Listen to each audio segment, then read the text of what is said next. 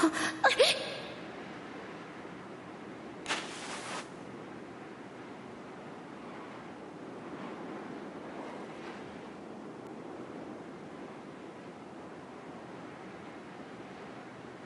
ラーちゃん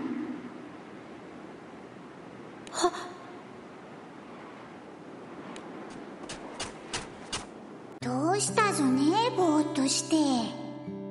もしかして寒くて風邪でもひいた？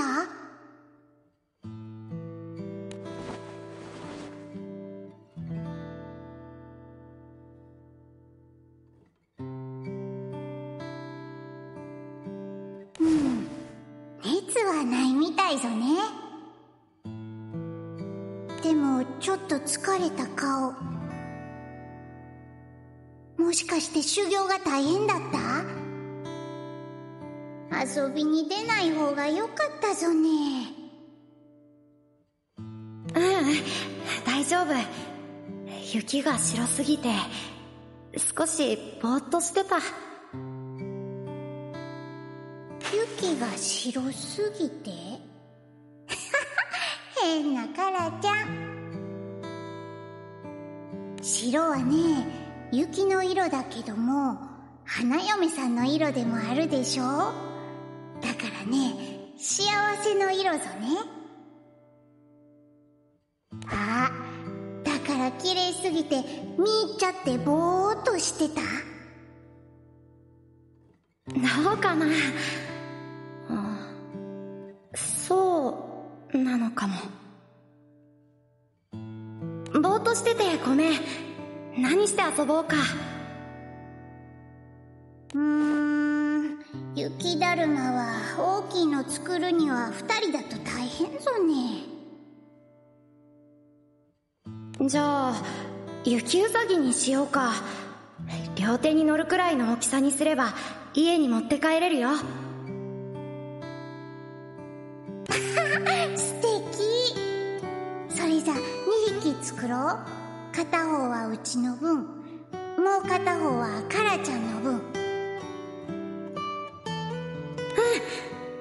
それじゃあ耳にする葉っぱを探さないと。目には赤い実使うぞね。確かこっちの方に南天の木があったはず。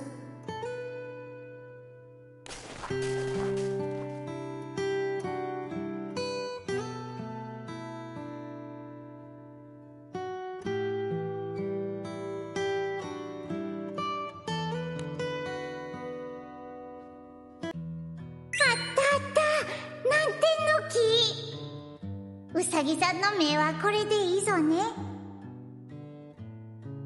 葉っぱも南天の木からもらおうか。うん。南天さんちょっとごめんなさいよ。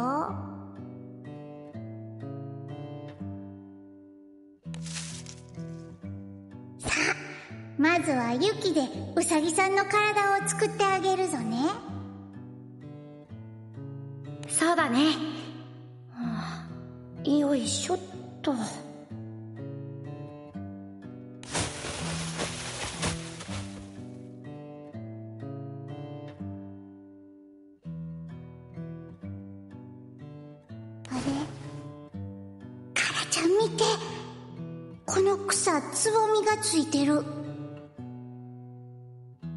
こんなに寒いのに咲く花なんぞあるぞね。ああ松雪草だね。松雪草う？ん。松雪草が咲く頃には春がやってくるんだ。春が？だから松雪草の花言葉は希望と慰めなんだよ。へえカラちゃんは物知りぞね。希望それに慰めか。もしカラちゃんに何か悲しいことがあったらうちが慰めてあげるぞね。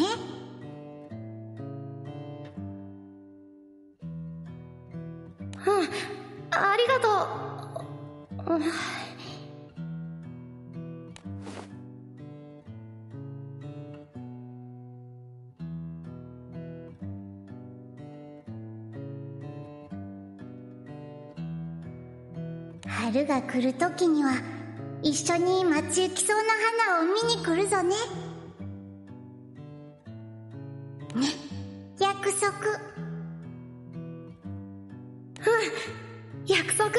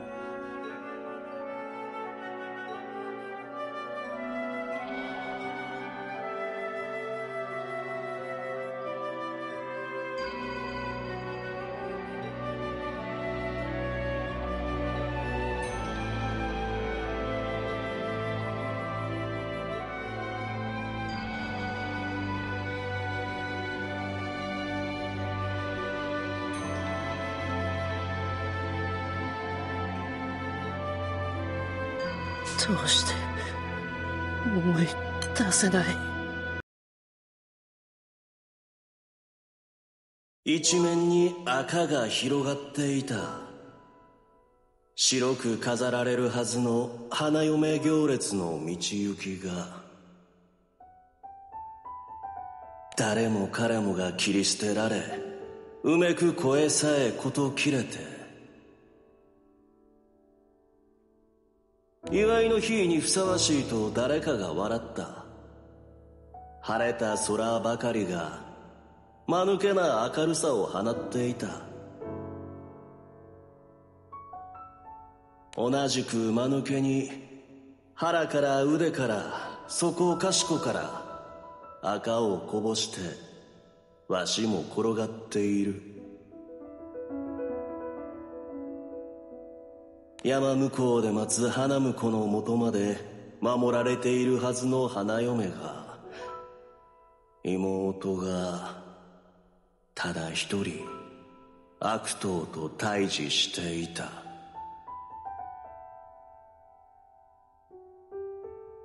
ようとようとよこせよ死の匂いが充満する中で狂った男が妖刀を求めて叫ぶ。封印を永遠にするため嫁入り道具に加えた妖刀。渡しちまえそんなもの。言う代わりに口からまた赤がこぼれる。だから言葉は届かなかった。渡すもんか。ご先祖様から託されてうちの一族が守り続けた刀ぞね。あんたなんかに渡す一日いやたったの半日それだけ後であったなら一族を離れて嫁に行っていた。妖刀だって封印されて。ああなのに。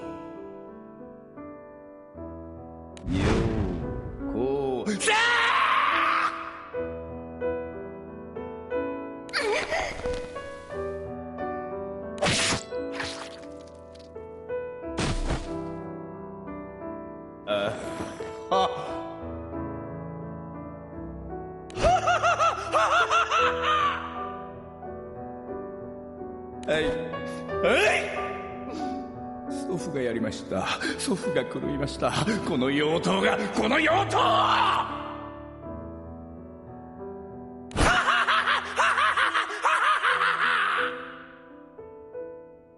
赤が赤を上塗りする。その中でわしと奴だけが呼吸をしていた。鍛えてきた体でわしは生き延びた。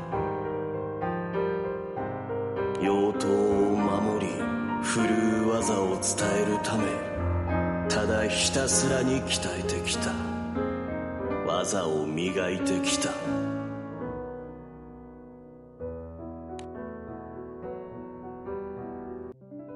だが技は誰も救えなかった。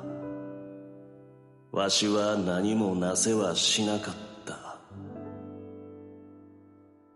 あの子はカラクラキルは妖刀片手に出て行ったよ。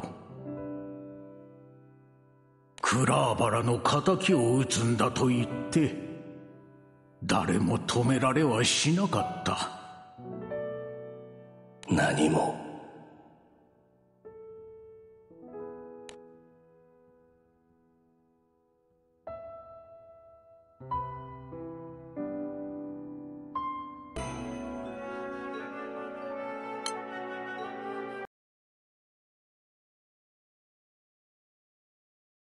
カラクラキルを追う旅の中でわしは団長たちに出会った。まっすぐで正直者親切が過ぎて時に他人に利用される。そんな連中だ。その若さ危うさに惹かれわしは団長の気空団の一員となった。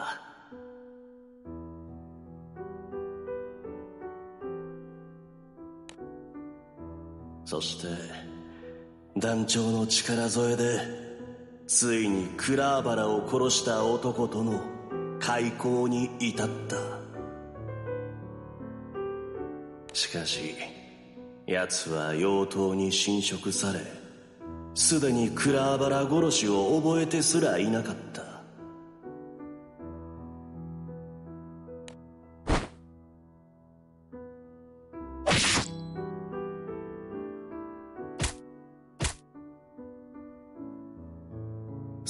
の仇をカラクラキルは殺した。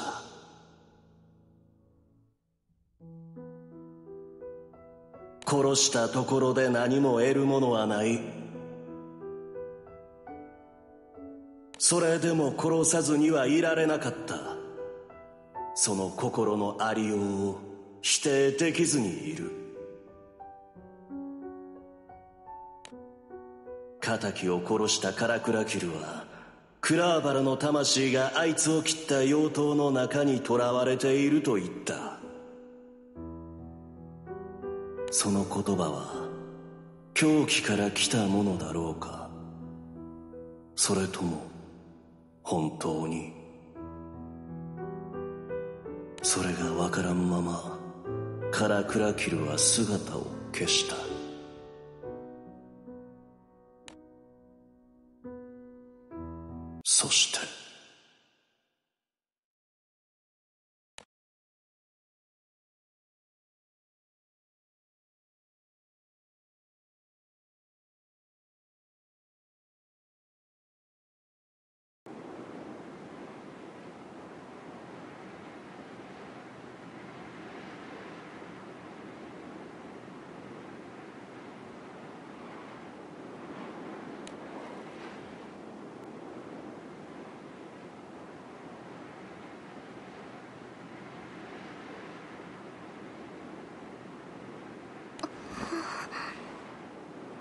れじゃ壺を空の底へ落とそうか。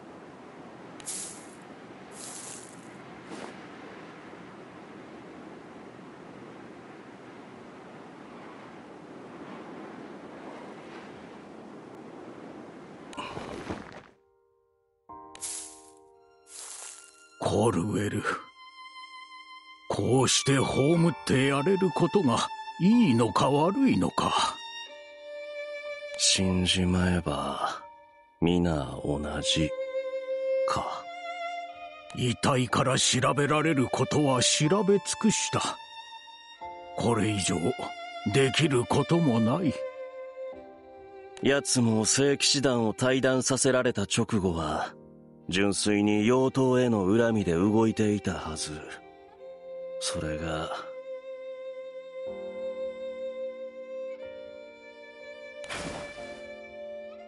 一度抜かれちまえば妖刀はあらゆるものを不幸にするぜよ。コルウェルもその一人だった。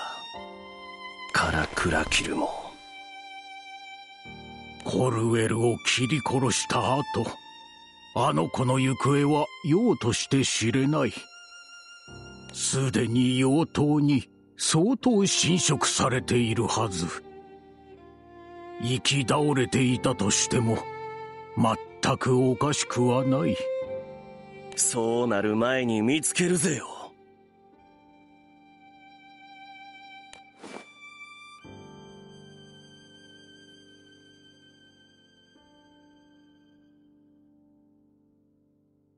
クラーバラ。あんなに長く兄弟二人で暮らしちょったのに今はもう声がまともに思い出せん。いつか顔すら思い出せなくなる日が来るんじゃろうか。他者の記憶は声から薄れていくというからな。ある面ではその忘却は救いともなろうが。今はまだそうは思えん。忘れゆくことはわしにとって罪か罰ぜよ。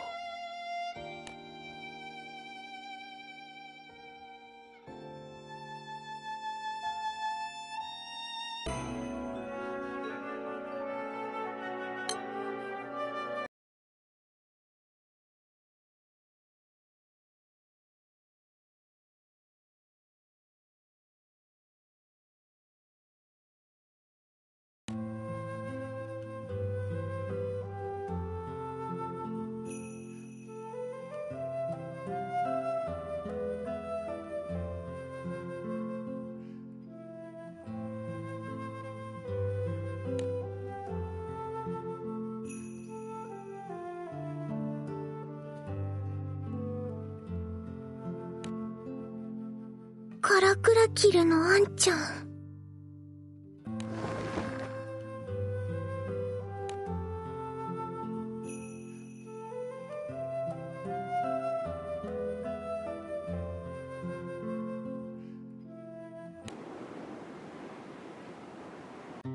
長田なんでアリースか見つけた。やる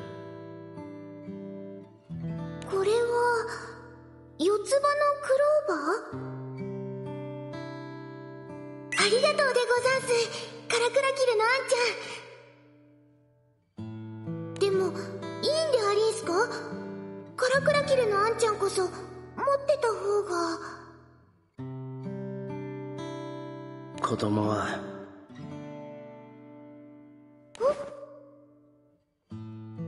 子供はどの子も幸せになるために生まれてくる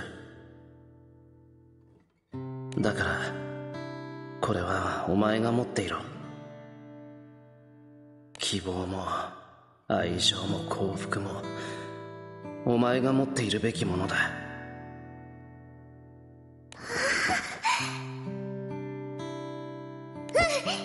大切にするでアリース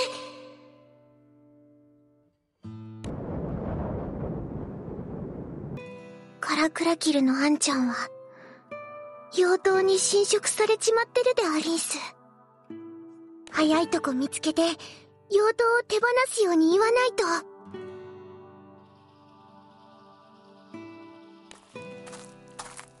おーい長だよ。お父っつぁん何かカラクラキルのあんちゃんらしきお話は聞けたでありんすか？それが全然こっちの島の方には来てねえんじゃねえかな。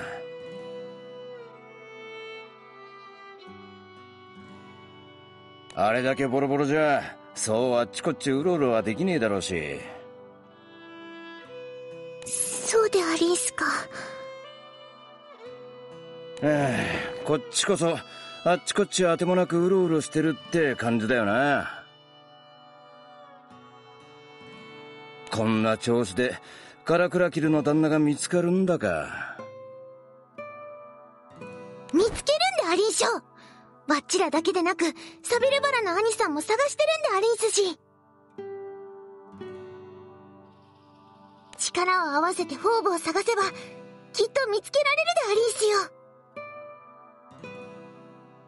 手を尽くすったってな。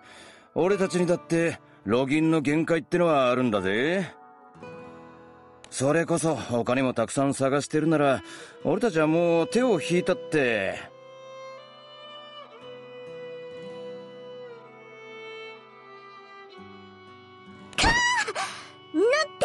な物言いでありんしょ雪吊りの中でこんだけ思い入れてるお前が情に熱いんじゃねえかな。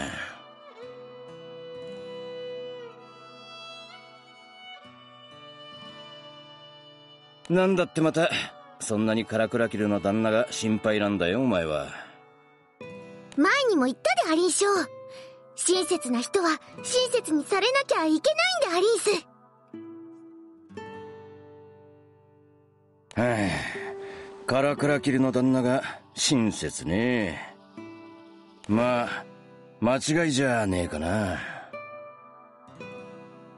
さあ分かったら次は一旦集めた情報を渡すために皆さんと合流するでありんすよ。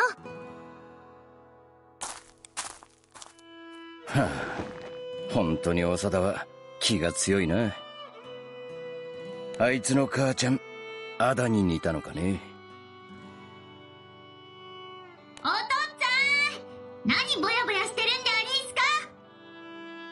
おう今行くぜ。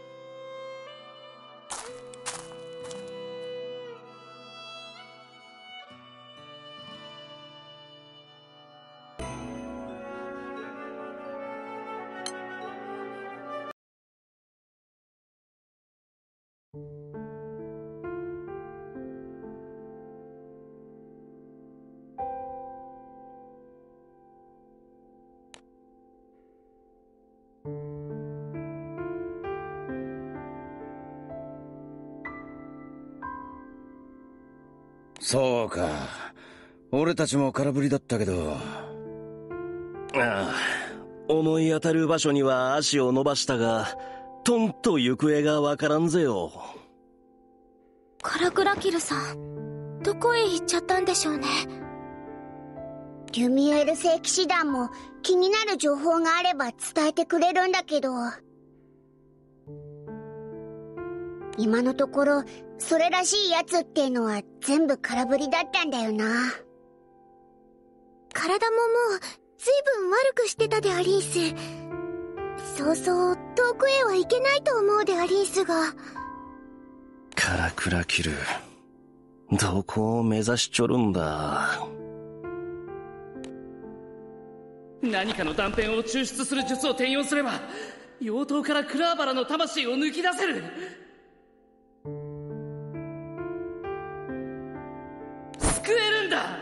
彼女のことを。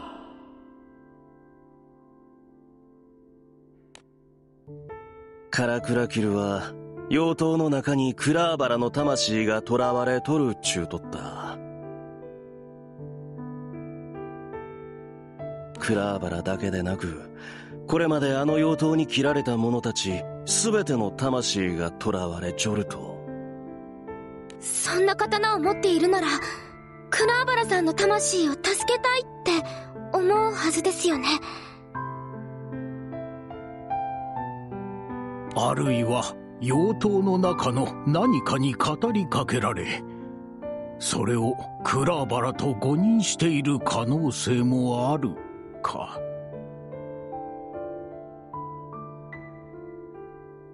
妖刀の中の何か以前にも話したか。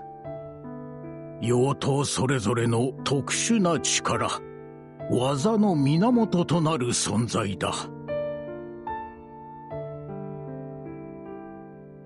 語りかけ持ち主の心を乱す妖刀もあるにはある。カラクラキルの持つ妖刀2本がそうだとは限らないがもっともカラクラキルとて妖刀の特質は理解しているはず。そうそう妖刀の語りかけに惑わされることはないと思いたいが。でも違うと分かっていたって諦めきれないことはあるもんでありんすよ。そうかもしれんなとなれば一箇所心当たりがあるやもしれん。本当かああ魂ということであれば霊峰天津伯楽かの地へ向かった可能性はある天津伯楽。もしかして天津のお山のことぜよ。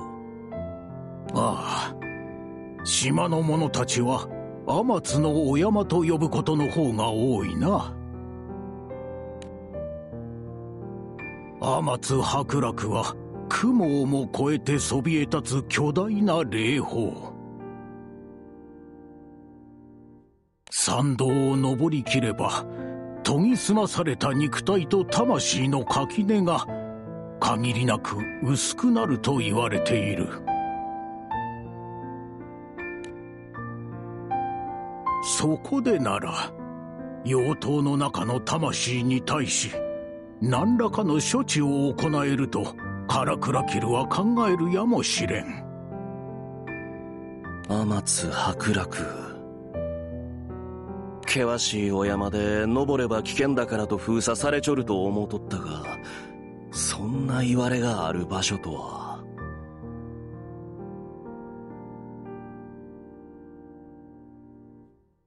無論カラクラキルを探すとなれば命がけとなるだろう。ででもそこへ行けばカラクラキルのアンちゃんが見つかるかもいや長田はお山には連れて行けん。子供が登れる山じゃないぜよ。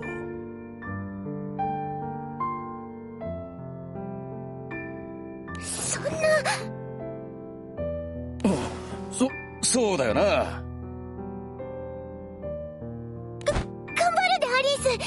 だからだから連れて行ってはもらえないでアリースか。長田恩師一人の危険じゃない。恩師を助けようとして他の者まで余計に危ない目に遭う。そういう場所ぜよ天津のお山は。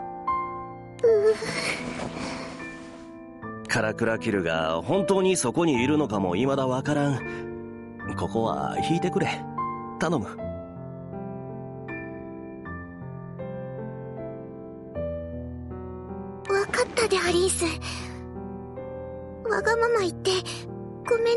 し団長たちも今度ばかりは。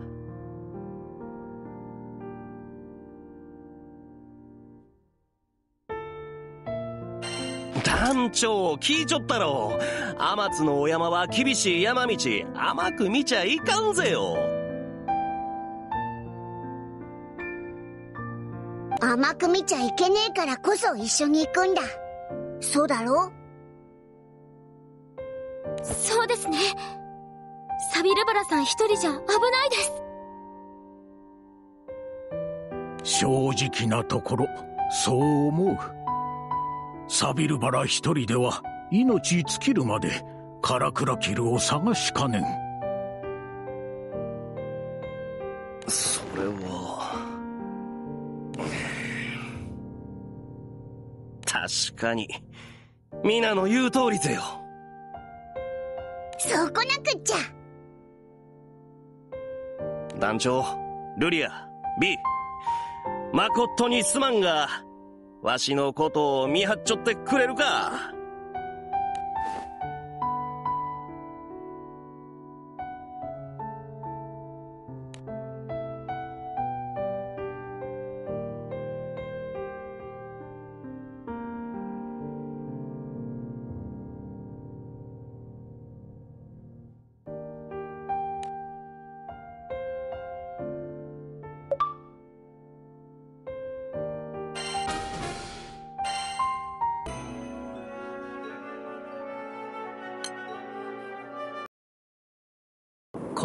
来る前のこと。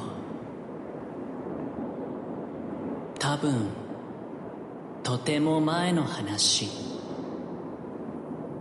今と同じ紐でつながれて狭い場所にいた時のこと。ああでも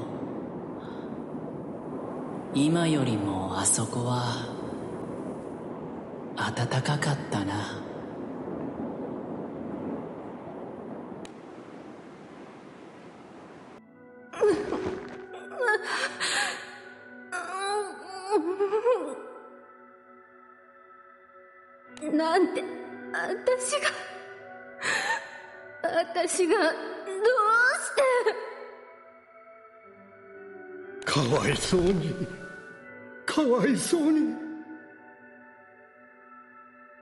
外からは声が聞こえてきた。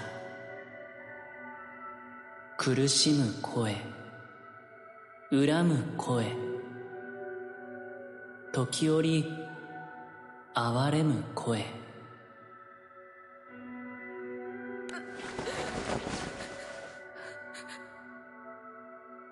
私の中に化け物が。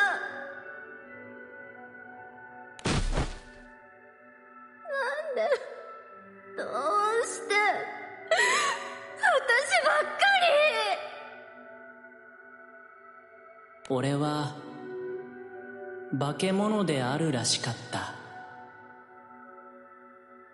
だから外に出て行ってはならない。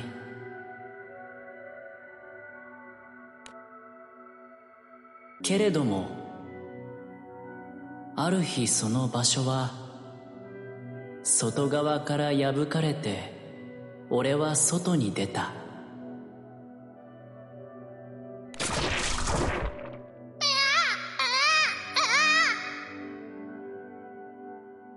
その時だけ俺は多分とても広い場所にいた。ここに来るよりももっとずっと前のこと。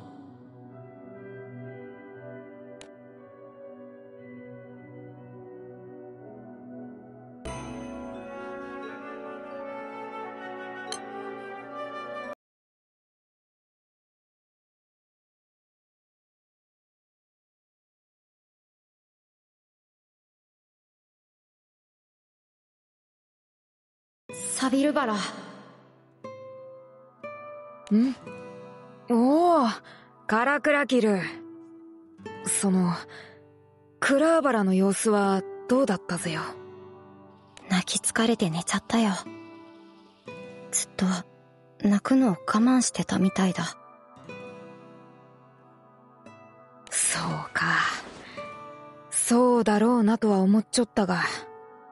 わしや親父の前じゃ泣くのをこらえちまう。お袋が行っちまって辛いのはクラーバラも同じなのにな。クラーバラは優しいから。うん。まあそれで無理してるのはわかるから兄貴としちゃ心配しちょった。恩師がじいちゃんとお線香をあげに来てくれて助かったぜよ。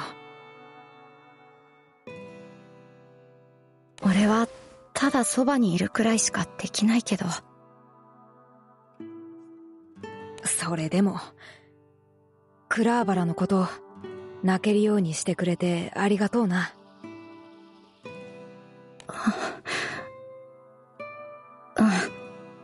おふくろわしの弟だか妹だかを産んでやれなくてそれからずっと寝ついちょった。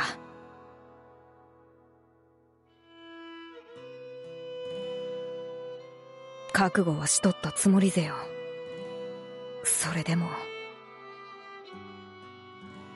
寂しいもんだな。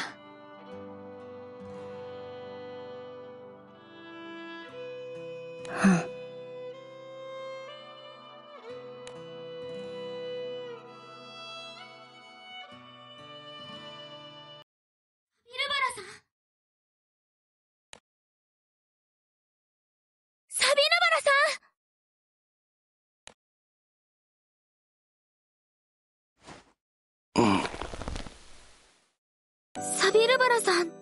丈夫ですか？疲れてるんじゃ。おお、すまんすまん。ぼーっとしちゃった。気が休まらねえのが続いてるもんな。ちょっと横になった方がいいんじゃねえか？そうですね。これから厳しい山登りが待ってますし。いや、そう具合が悪いわけじゃ。そんなこと言って山に着く前に倒れちまったら元も子もないだろ？わかったわかった。どうも年下には言いまかされる人生ぜよ。それって？ああ妹。クラーバラにもよく叱られちょったもんだああだがしかし団長たちとクラーバラを重ねてみるのはいかんな。サビルバラさん。あのさそれで編み笠の兄ちゃんが楽になるなら全然気にしなくていいんだぜ。ありがとうな P だがクラーバラは死んだぜよ。それは確かなことじゃき。わしはあの子の死を背負ってそれでも生きていかねばならん。わしだけでなくカラクラキルもな。たとえカラクラキルの余命が残り少ないとしてもそれでもだカラクラキル。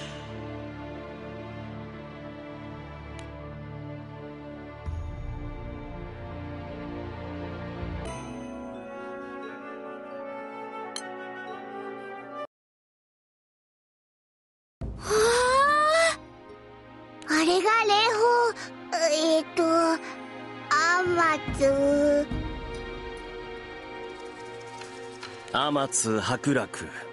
まあ天津のお山でいいぜよ。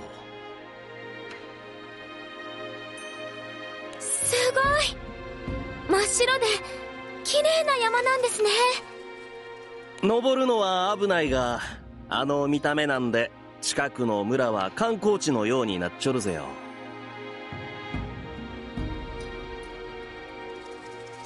遠くから旅行に来る連中もそこそこおると聞いちょる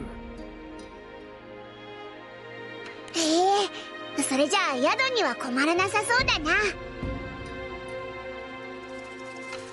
そうですね。旅行か。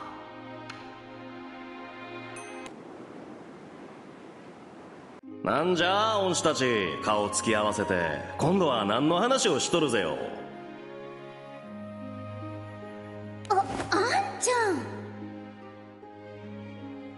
新婚旅行ねどうしようかって。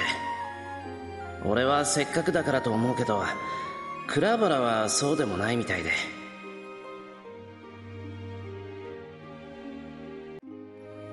だってカラちゃん。カラちゃんが長くお家を開けたらいかんぞね。お仕事もあるし。それはそうだけど。でもだからこそこんな機会でもないと旅行なんてなかなかできないだろ？行ってこい行ってこい。子供ができたらますます出かけるなんぞできなくなるぜよ。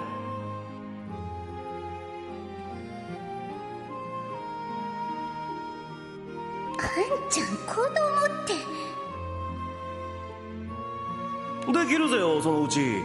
男か女か何かわからんが。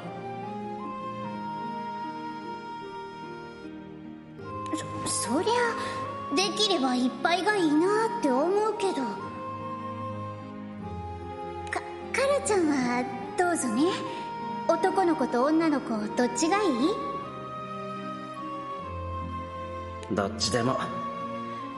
どっちも可愛いよ。君との子なら。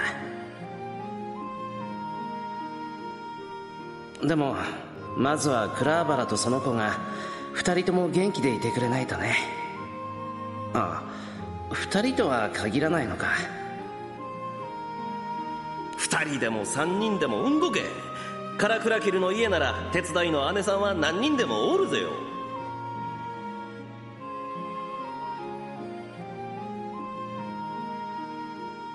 なんならわしも面倒見にこっからあっちの家まで通ってやる気に。えー、あんちゃんが？危なっかしくて帰って困るぞね。は？あ兄貴の行為をお前？あんちゃんはまず自分のことをどうにかせんといかんぞね。お弟子さんたちがいるって言ったって道場の切り盛りも毎日のあれこれもこれからは一人でするんだから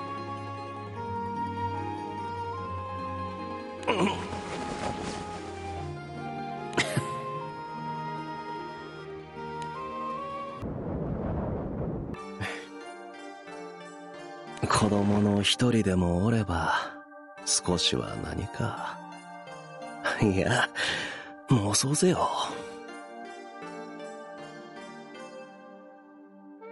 お？何か言ったか？いやなんちゃじゃないきに。さ気空艇で発着場に降りるとするぜよ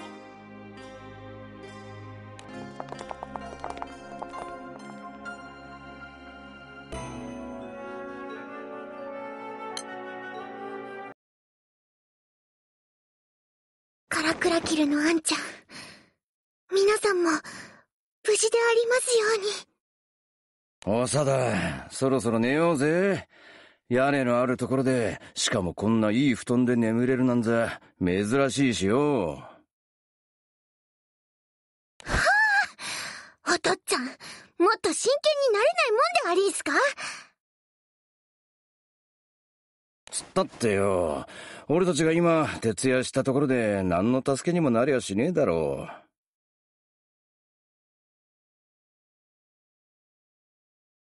それは、そうでありんすけど。う。さあ、寝た寝た。帰ってきた旦那たちに元気な顔を見せてやんのが一番だぜ。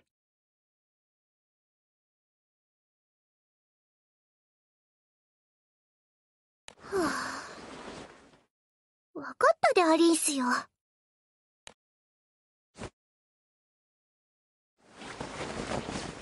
おやすみなさいなんし。はあ、お、おやすみ。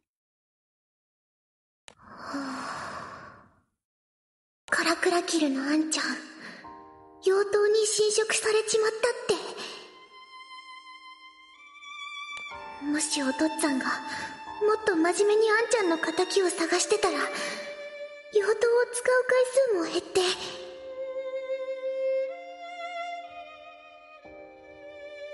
ううん。それより前に、そもそもお父っつぁんは、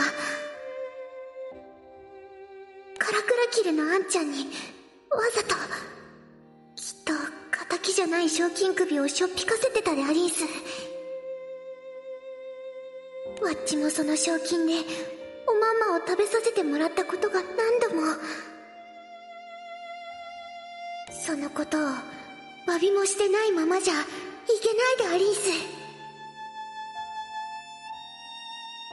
お山について行ったって、詫びにもなりんせんのはその通りでありんすけど。それでもやっぱり、ついていけば、何かのお役には立てたんじゃありんせんか？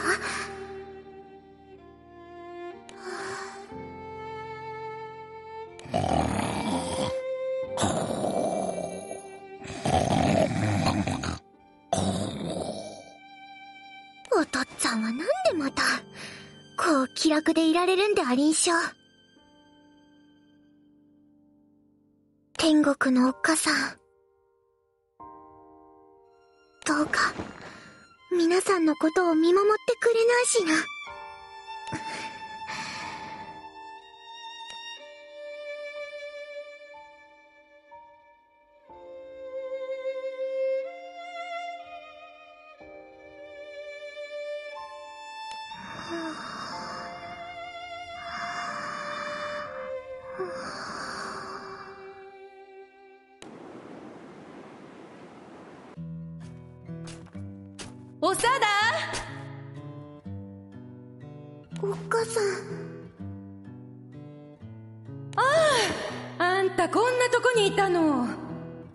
大橋に近づいちゃいけないといつも言ってるだろうに。さあ寒いでありんしょ。お棚へ戻りなんしな。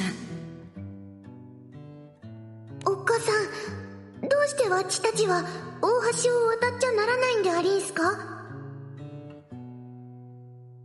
それはそれはねおっかさんが買われてきたからでありんす。本当はねおさだ一人なら大橋の向こうへ行ったって大人に文句は言われない。あんたと一緒にいたいおっかさんのわがままなんだ。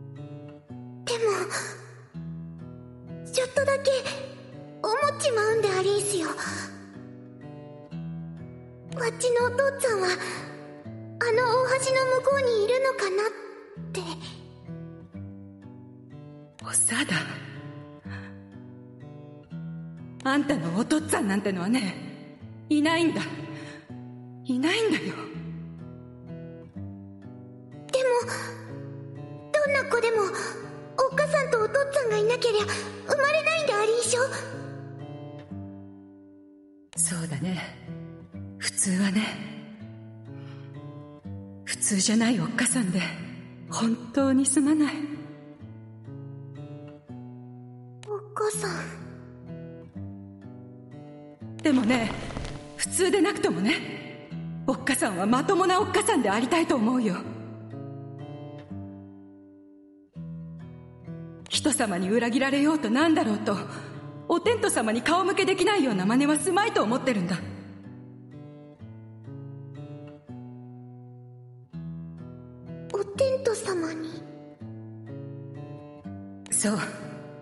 例えば真っ白な雪みたいな心根で。あるいはさほら見てごらんここ。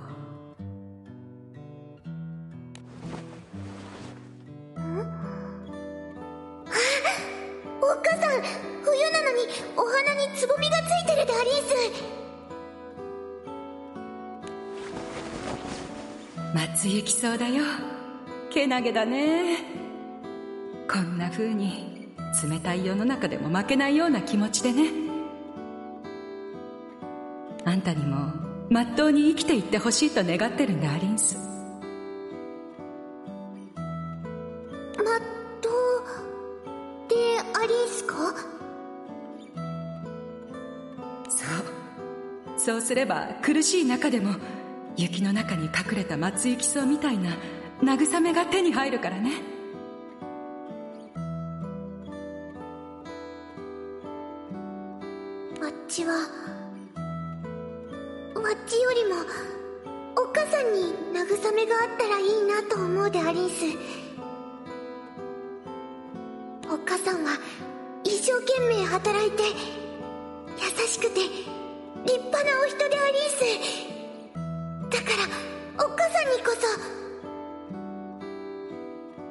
ありがとう長田。そんなふうに思うあんたこそがまっとうで優しいんでありんすよ。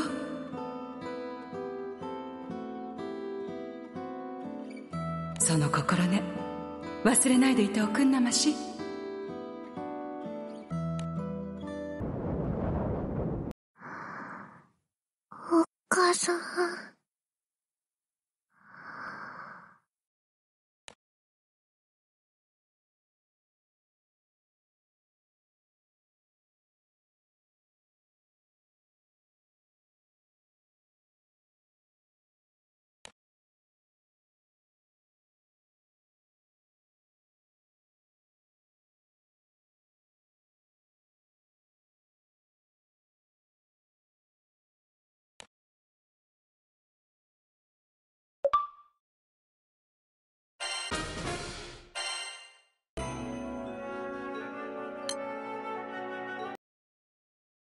ここに来る前のこと。多分とても前の話。狭い場所が破れて外へ出された時のこと。寒かったような気がする。よく覚えてはいないけど。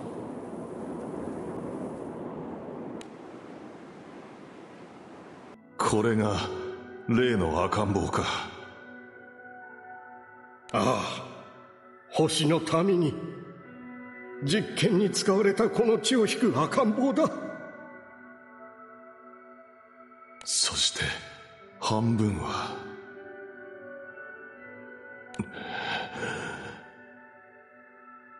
いいんだな。是非もない。これで星の獣に対抗できるだけのものが作れるんだろう。わからない。失敗する可能性もある。作られたばかりの呪術だ。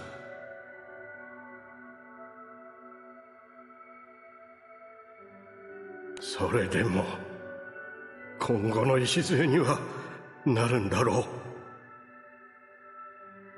このままわしが手を下すよりは人の役に立つ。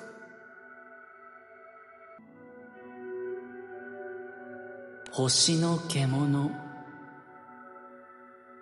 そうだ。星。何度もその言葉を聞いた。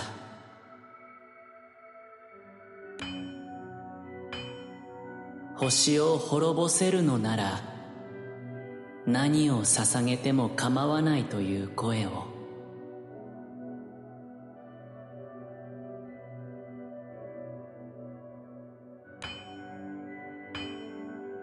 そのためにいくつもいくつも何かが狭いところに閉じ込められた。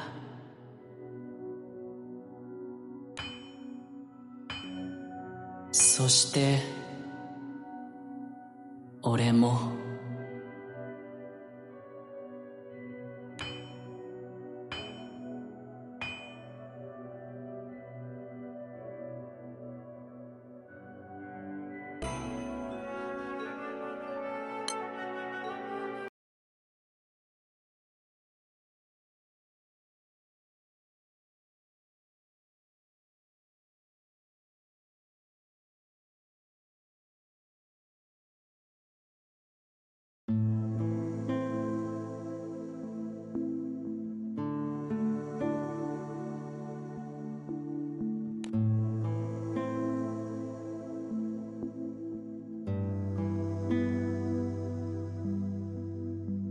天津のお山に登ろうとした人。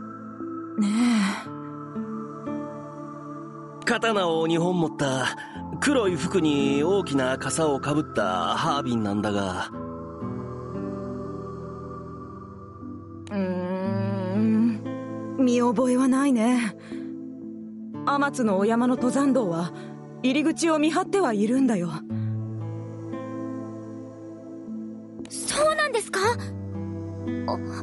それで見覚えがないってことは。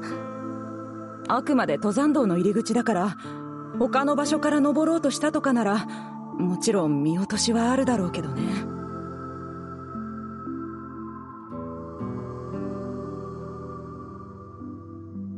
そもそも登山道だって山の中腹まででそれ以上は危なすぎて登る人はいないんだよ。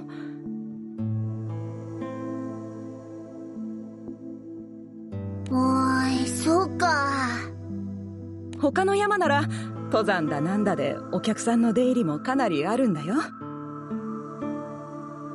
でも天津のお山だけは危ないから行かないようにって私らからも注意していてね。そうか。ありがとう。引き止めて悪かったぜよ。探してるお人見つかるといいね他のルートから山へ入った可能性は否定しきれないか。あと夜は入り口を見張る人もお休みしてるんだそうです。こんだけ厳しい山じゃ夜に登るなんてのは自殺行為だもんな。本来は。わしらはその可能性を否定できんのが辛いところぜよ。やはり登ってみるか。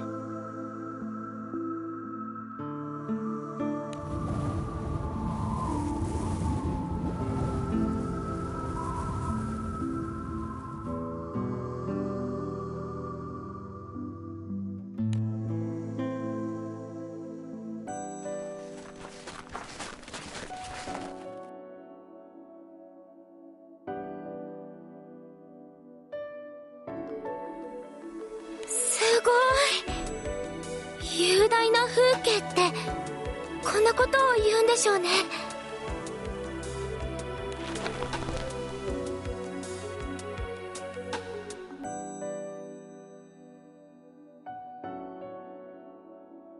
こんな時でなけりゃゆっくり眺めていたいくらいだな。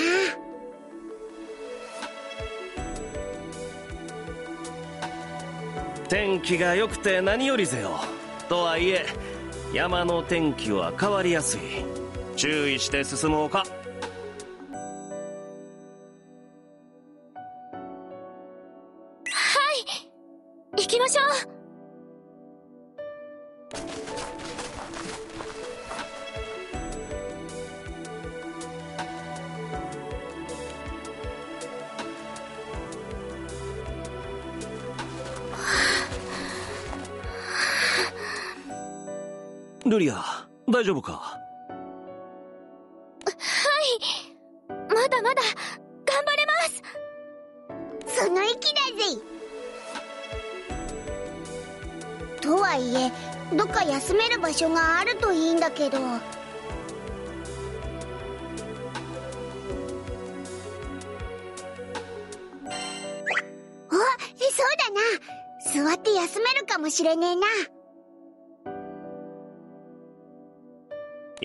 行ってみるとするぜよ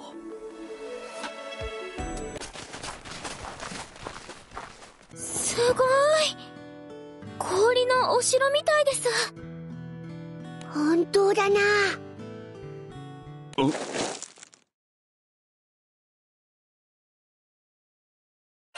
ここを見てくれ。これは火を起こした後じゃ。おう風で散らされちまってるけどそれっぽいな。ということは誰かが近い間にここを経由してどこかへ行ったっちゅうことか。もしかしたらカラクラキルさんかもしれませんね。ああここまで来た甲斐も団長たちを巻き込んだ意味もありそうぜよ。チェ水くせえな。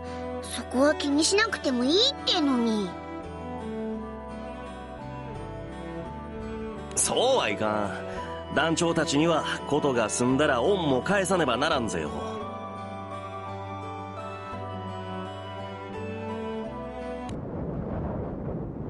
と外の風が強くなってきたな。収まるまではここで待機せねば。カラクラキルさん。一人でもっと上の方にいるとしたら心配ですね。ああカラクラキル。もし本当にお山の上におるのか。おるとしたら恩師本気でクラーバラを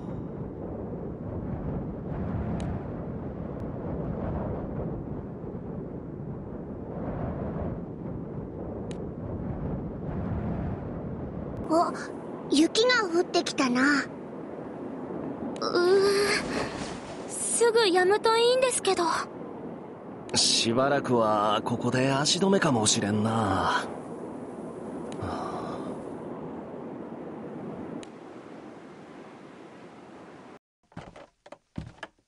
雪止まないね。今日は止まっていったらいいぜよ山道を通ってる間に風まで強くなったら目も当てられん。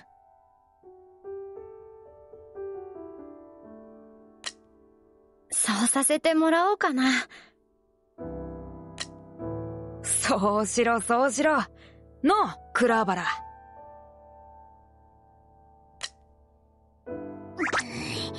ちょっと黙っちょって。今次の手を考えとるぞね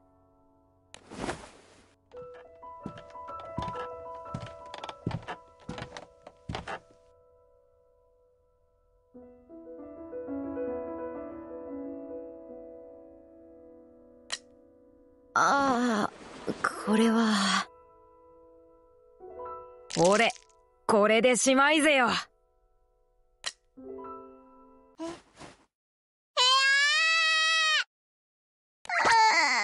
また負けたぞね。クラーバラは5に向いちょらんな。カラちゃんうちの敵取ってできるかな？大丈夫。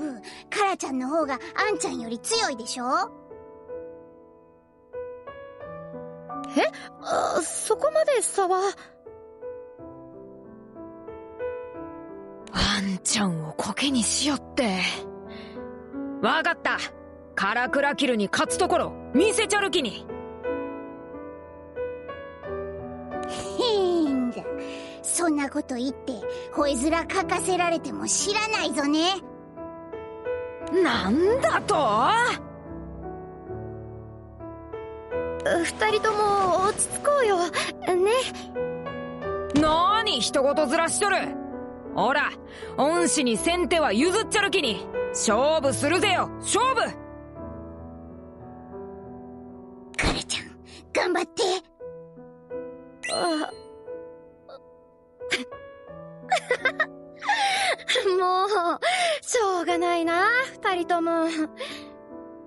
よーし。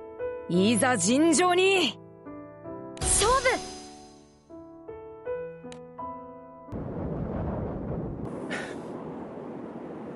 カラクラキル。恩師今どこにおる？